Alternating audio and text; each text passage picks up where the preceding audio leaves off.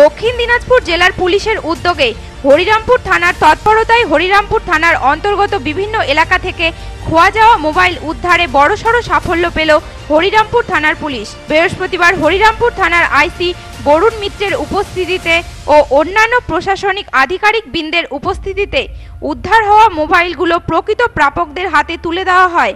Mobile পেয়ে স্বাভাবিকভাবেই যথেষ্ট খুশি মোবাইল প্রাপকরা।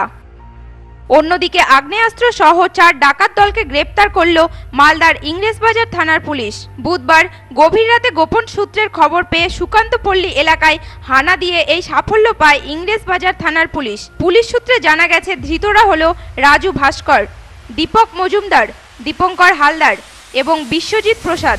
ধৃত চার ব্যক্তির বাড়ি পুরাতন মালদা শহরে। বৃহস্পতিবার ধৃতদের মালদা জেলা আদালতে তোলা হয়। হরিরামপুর থেকে শুভময় ঘোষ ও মালদা থেকে পরিতোষ সরকারের report news today. Mundra jewellery, সোনার গহনার একটি বিশ্বস্ত প্রতিষ্ঠান।